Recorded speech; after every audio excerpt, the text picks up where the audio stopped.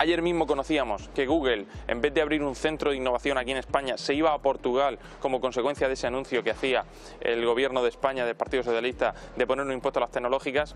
Hace dos días solo, Google decidía montar un centro de trabajo de 1.200 personas en Portugal. ¿Por qué? Porque ustedes están haciendo que España deje de ser un país interesante para invertir, y especialmente para invertir en temas tecnológicos. ¿no?